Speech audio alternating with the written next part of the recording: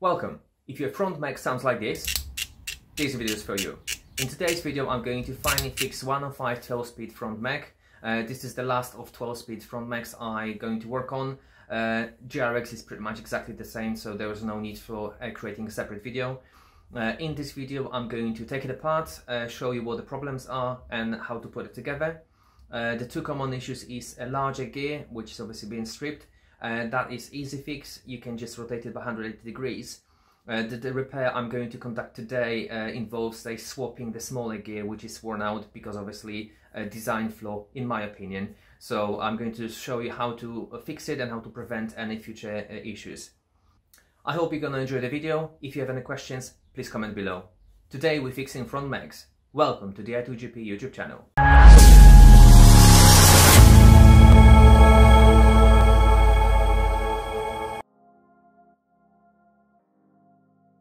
In today's video we're going to repair front mech 105 Di2 as you can hear in a second.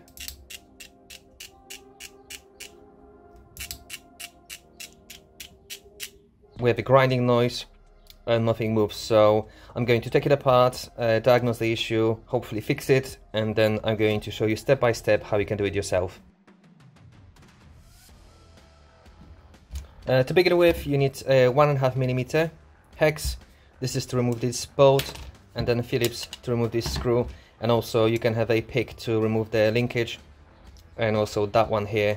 Uh, this link can be used on a 8050 and 9150 so previous generation or even uh, Ultegra. So you can reuse that pin. So if your for example your Dura-Ace uh, mech uh, is broken possibly it's a lot cheaper to buy 105 these days than uh, find replacement for 12 speed uh, for 11 speed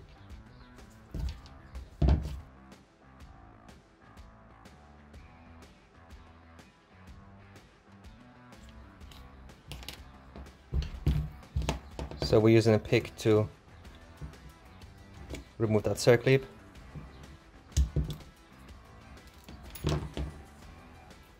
And then that can just slide off.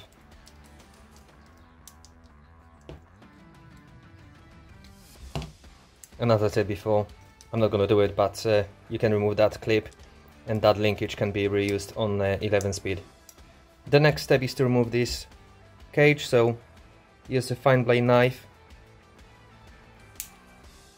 and just gently lift it up.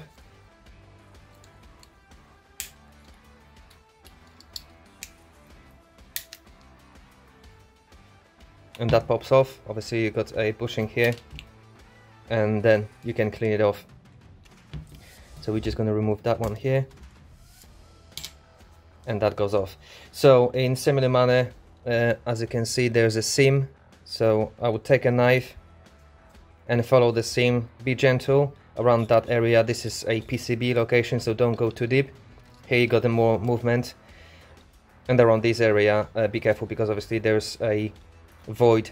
So seam or weld, ultrasonic weld goes around here.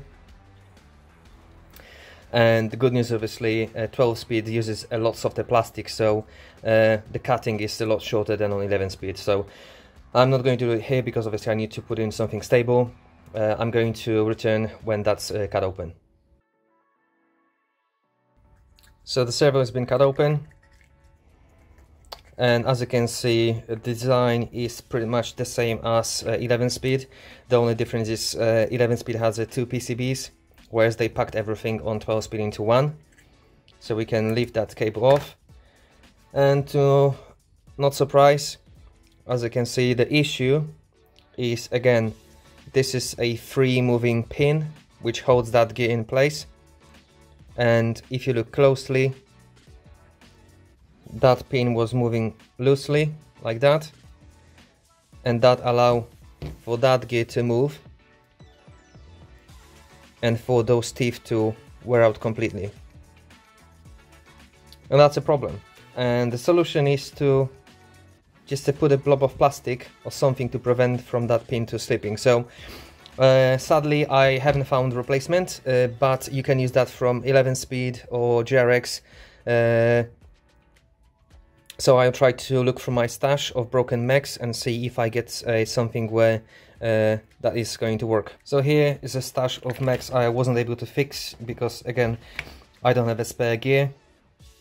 Uh, just a reminder that main gear here which is pretty much the same as here if those teeth are worn uh, you can replace it so obviously that is pressed in on a spline and what you do because that only rotates about 180 degrees so you just rotate it by 180 degrees and that works. So what you need to do is to uh, take off these two screws on uh, 11 speed or those two screws on 12 speed.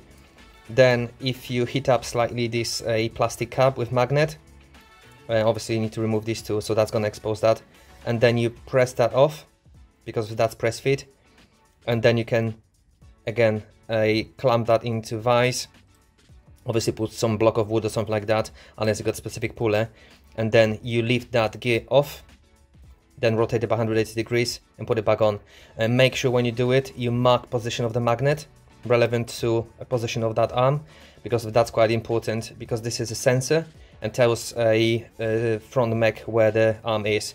So if you mess this up, obviously you, your shifting is going to be all wrong. But anyways, that aside, uh, I found replacement in my stash of uh, broken mechs. So as you can see, one on the right is worn, one on the left is all good. So I'm going to use the one on the left uh, to replace that one. And as soon as I find a suitable replacement, uh, I'm gonna let you know. But uh, we got a bronze or brass, I'm not sure what the metal is, uh, large gear, and then you got the steel sprocket that is pressed in. So I only need to find that steel sprocket, and I'm sure I can press that in myself, but uh, finding that gear is going to be quite challenging. And But anyways, obviously, that goes in here. Very simple.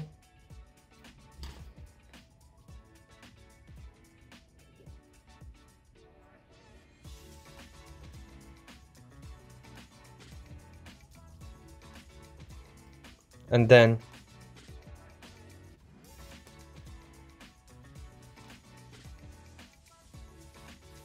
as you can see now we got a full engagement that moves. And what I'm going to do as in my previous repairs I'm just going to put a blob of plastic here so that axle won't move and that's going to remain operational for a long time. So now the only thing to do is to test it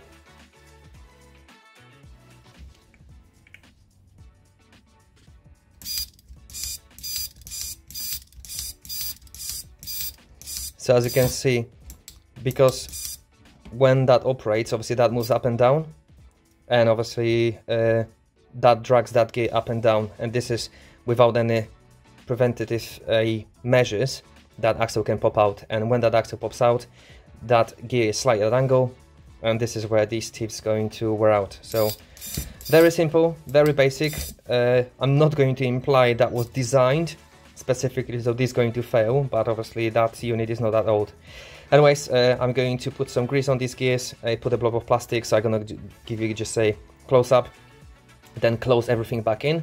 And uh, many people asking me what glue I use. I don't use any glue uh, purely because there was a lot of forces and the torsional uh, loads on this. So I use a soldering iron.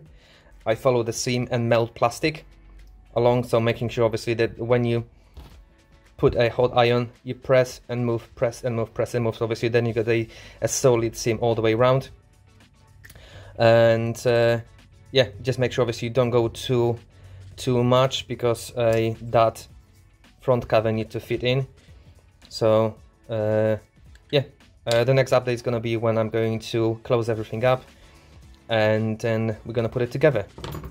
So as you can see, I just melted some plastic on top and as long as that's flat with that area that's going to provide a, proper support because that slides in into that area here and inside just like that.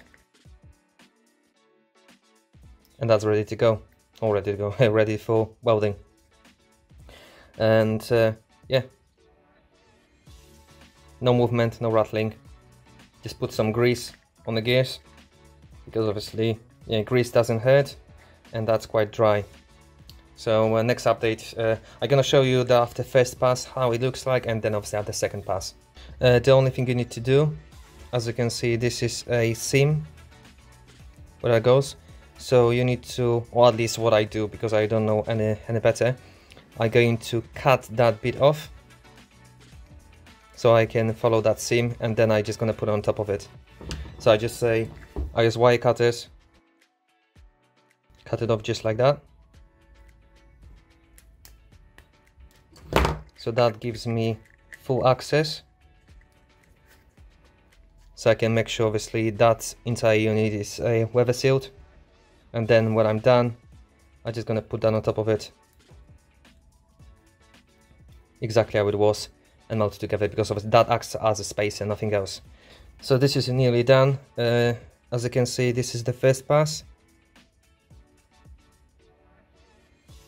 And after two passes, it looks much better. So obviously this is where you need to improvise, otherwise you can cut that off, but then it doesn't look that nice. Uh, you need to melt properly that area and here.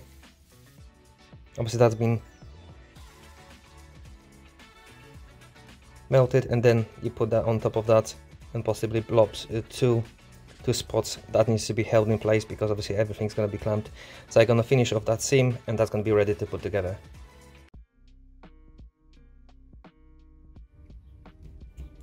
So the unit is sealed and as I said uh, the objective uh, it's not to hide the repair but just to make it uh, show it's watertight and it's uh, neat.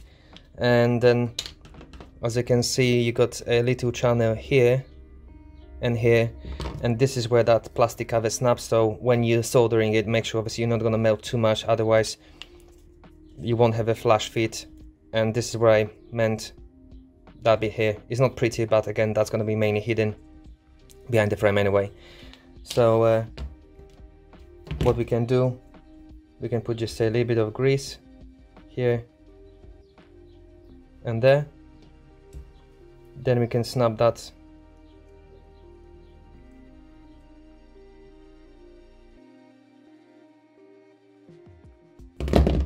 that goes in like that then as you can see that goes in so that fits nicely then we're just putting that bit on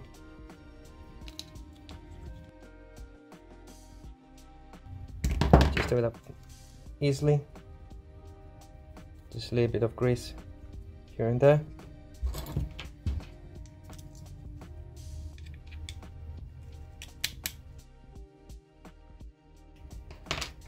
And then you can do this one up.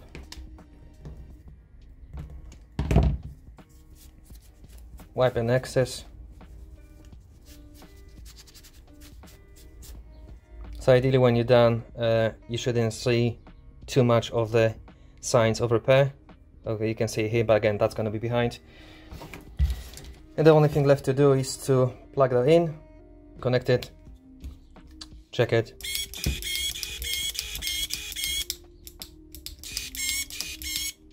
So as you can see, from the front, you can barely see it was repaired. You got a tiny bit here but that's uh, everything is uh, weather tight and as I said because of that I put a blob of uh, plastic uh, it's unlikely that's going to be affected by a similar issue to uh, original design. Uh, thank you for watching. this concludes my 12-speed front max.